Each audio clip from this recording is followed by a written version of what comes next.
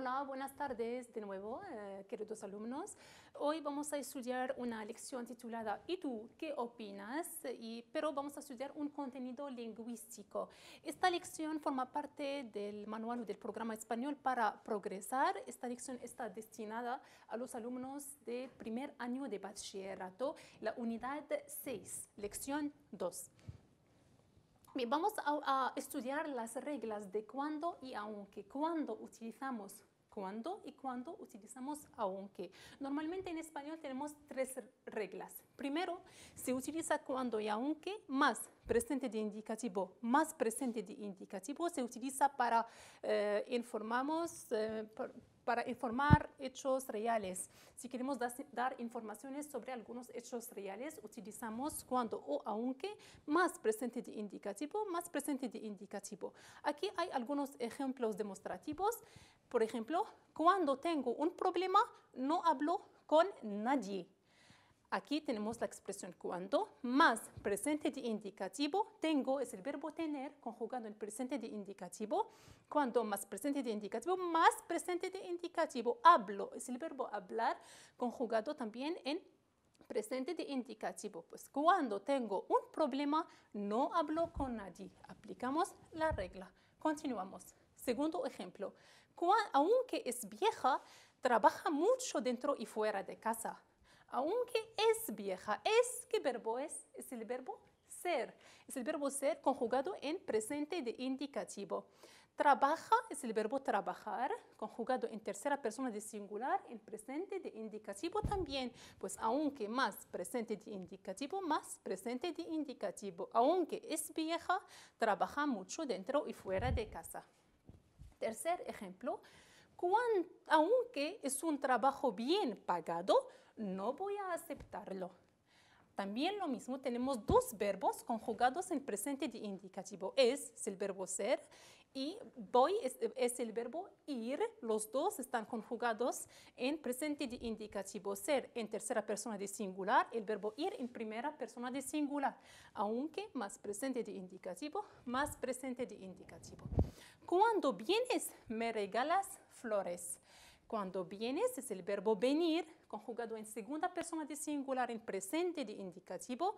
Regalar eh, está conjugado también en presente de indicativo, segunda persona de singular. Pues el primer caso utilizamos cuando o aunque, más presente de indicativo, más presente de indicativo. El segundo caso, utilizamos cuando o aunque para hablar del pasado, de hechos pasados, para referirnos al pasado. Por ejemplo, este pasado puede ser el tiempo el verbal, el pretérito imperfecto o el pretérito indefinido. Por ejemplo, cuando era pequeña, vivía en Madrid. Era es el verbo ser conjugado en pasado en eh, pretérito imperfecto y vivía también es el verbo vivir conjugado en pretérito imperfecto.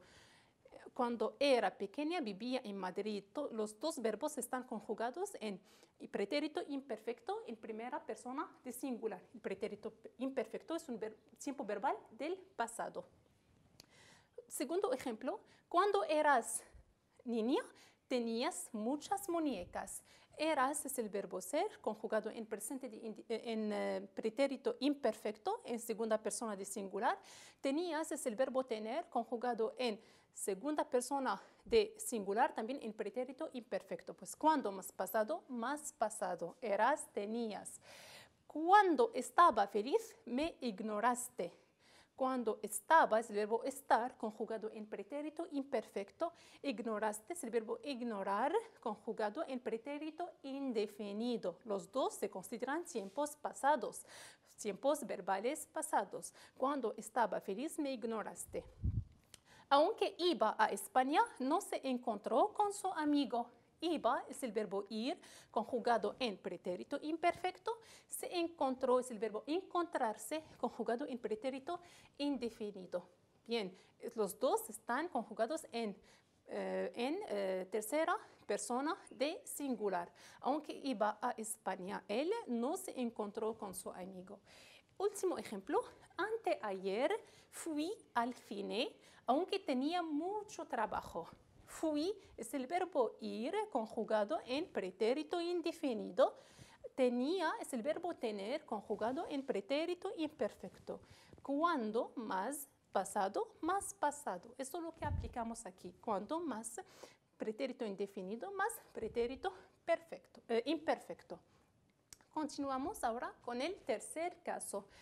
Utilizamos cuando y aunque más presente de subjuntivo más futuro para hablar de acciones futuras o de algo que desconocemos, que no conocemos, que no sabemos.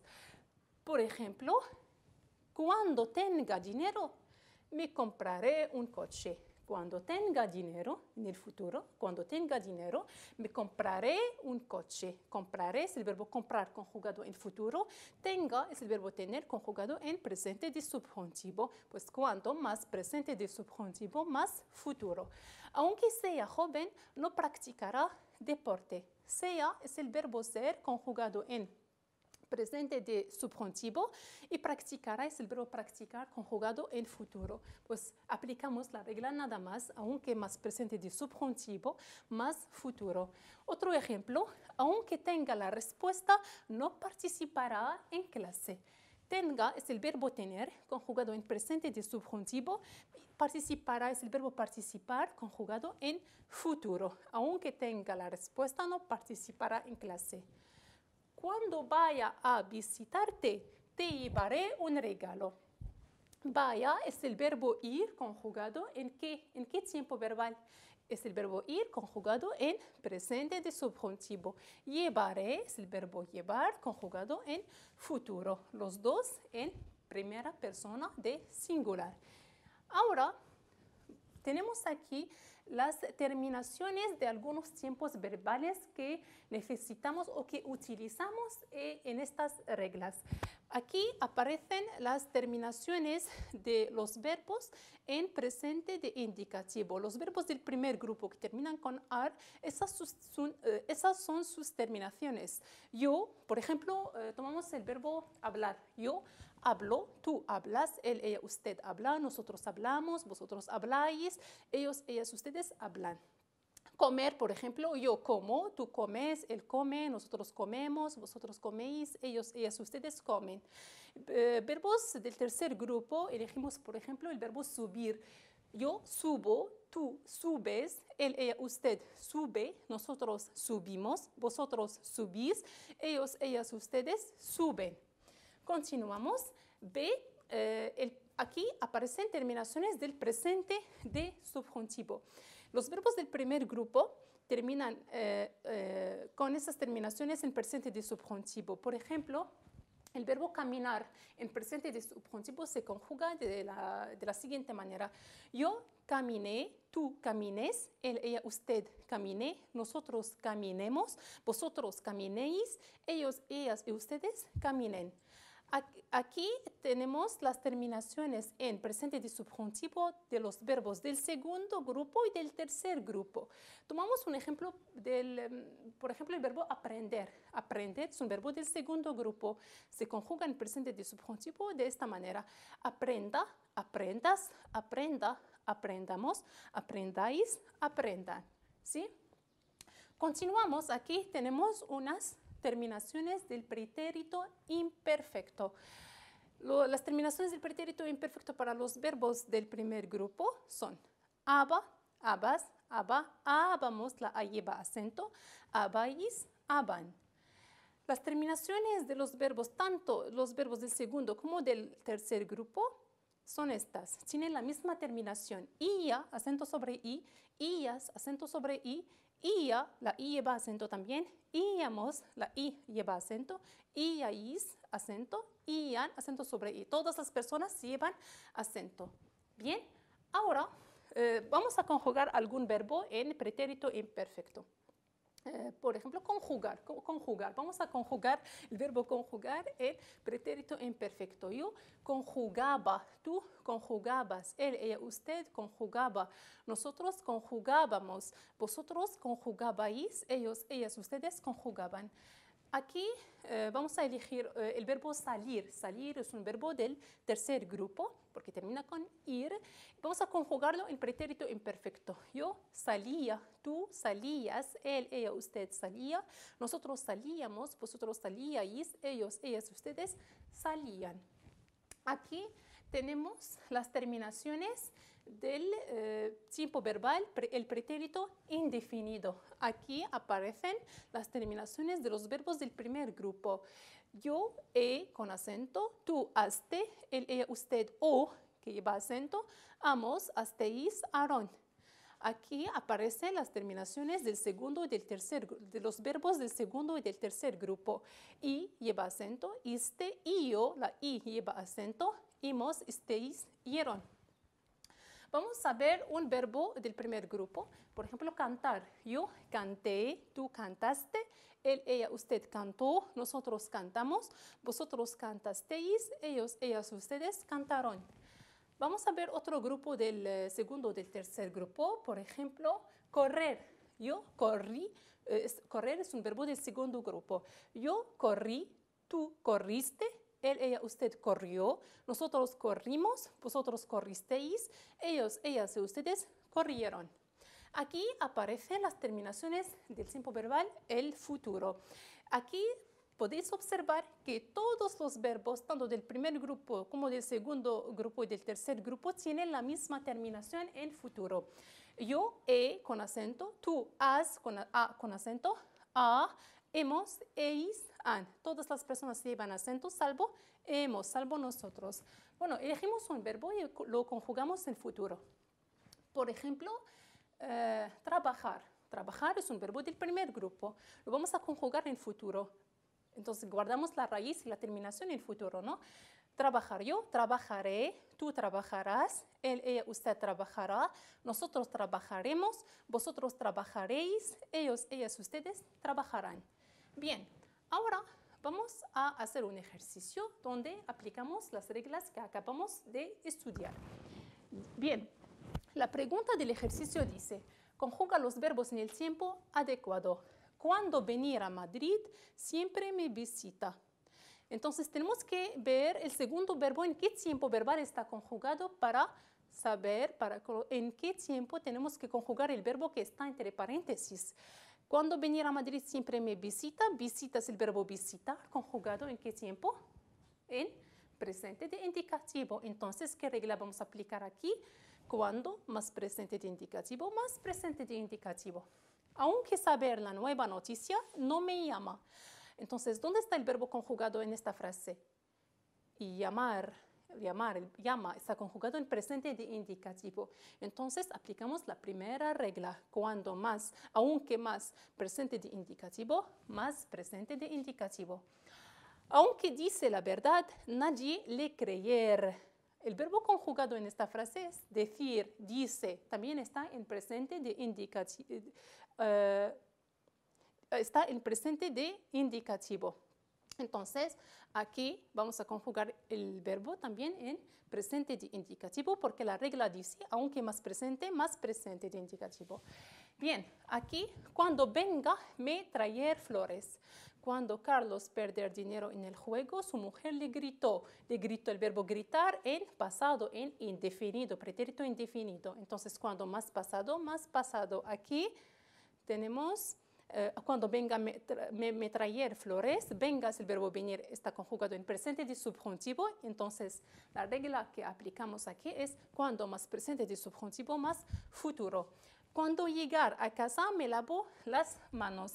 Aquí verbo lavar está conjugado en presente de indicativo, entonces aplicamos la regla cuando más presente de subjuntivo, eh, más presente de indicativo, más presente de indicativo. Y continuamos de la misma manera. Cuando vender mi coche, compraré otro. Compraré, el verbo comprar está en futuro.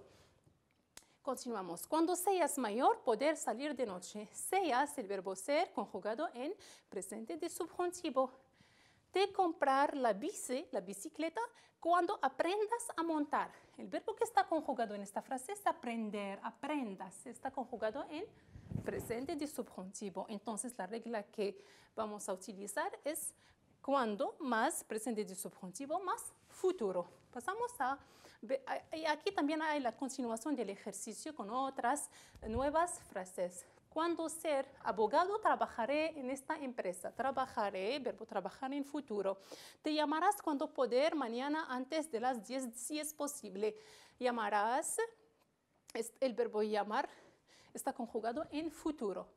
Yo hacer deporte cuando me siento muy estresado. Me siento, el verbo sentirse, está conjugado en presente de indicativo. Cuando salgo del liceo, ir a la casa directamente. Salgo, el verbo salir, conjugado en presente de indicativo. Cuando vienen tus amigos, lo pasar nosotros muy bien. Cuando el alumno llegará a casa, hará sus deberes y verá un poco la tele. Cuando veáis la tele, perder mucho tiempo. Me, gusta ver, me gustaba, el verbo gustar conjugado en pretérito imperfecto, es decir, en pasado, me gustaba ver mi programa favorito cuando estar solo en casa. Frase, eh, la, frase siguiente, aunque no tener dinero, querrá comprar un piso. Aunque gane mucho dinero, no cambiar la vida. Aunque los vientos de la vida soplar fuerte, resistiré. Vamos a corregir estas frases. La primera frase dice, cuando viene a Madrid siempre me visita. La primera regla, cuando más presente de indicativo, más presente de indicativo. Aunque sabe la nueva noticia, no me llama. Aquí lo mismo, aunque más presente de indicativo, más presente de indicativo. Aunque diga la verdad, nadie le creerá. Diga el verbo decir en presente de subjuntivo creer el futuro. Entonces la regla dice, aunque más presente de subjuntivo, más futuro. Cuando venga me traerá flores. Lo mismo, cuando más presente de subjuntivo, más futuro. Cuando Carlos perdía dinero en el juego, su mujer le gritó. Aquí tenemos los verbos conjugados en pasado, el verbo perder en pretérito imperfecto, el verbo gritar en pretérito indefinido. Entonces, cuando más pasado, más pasado. Cuando llego a casa, a casa, ¿no? ¿Acaso? Lo siento. Cuando llego a casa me lavo las manos. Cuando llego, el verbo llegar en presente y lavar en presente. Entonces, cuando más presente de indicativo, más presente de indicativo.